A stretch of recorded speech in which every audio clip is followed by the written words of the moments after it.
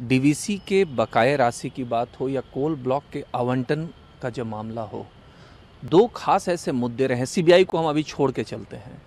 तो राज्य और केंद्र के बीच एक टकराव की जो रेखा होती है, वो नज़र आई। आप सीधे सीधे केंद्र और राज्य के बीच टकराव वाली स्थिति दिखी क्या आप मानते हैं कि राज्य, कोई भी राज्य अगर केंद्र से टकराएगा तो उसका विकास क्या प्रभावित होगा? आपके सामने चुनौतियाँ बढ़ेंगी। नहीं, देखिए, अगर टकराव करने होते तो कई तरीके से हम लोग झगड़ा कर सकते थे, लेकिन अभी तक हमारी ऐसी कोई मंशा नहीं है। लेकिन दुर्भाग्य की बात है, अभी तक केंद्र सरकार, राज्य सरकारों के प्रति जो अपनी जिम्मेवारी है, उससे भाग रही है। एक तरफ़ से जीएसटी के पैसे नहीं दे रहे हैं, दूसरी तरफ़ से हमारा जो असंवैधानिक प्रक्रिया भारत सरकार ने अपनाया, जो आरबीआई में हमारा कंसोलिडेटेड खाता होता है फंड होता है, उससे सीधे तौर पर पैसे काट रहे हैं। इधर और डीबीसी बिजली भी काट रही है।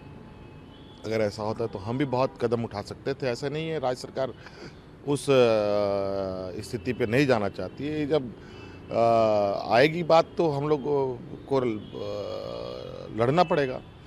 लेकिन हम चाहते हैं कि ये बातें सहजता के साथ और बातचीत के दौर, के साथ ही समाधान हो, ज़्यादा बेहतर है।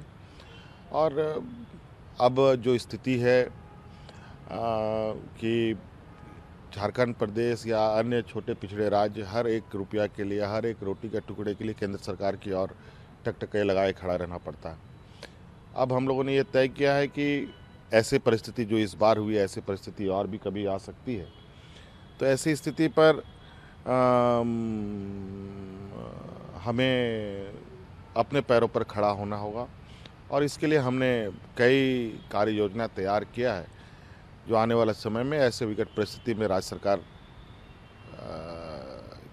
को डगमगाने की बहुत ज़्यादा आवश्यकता ना पड़े।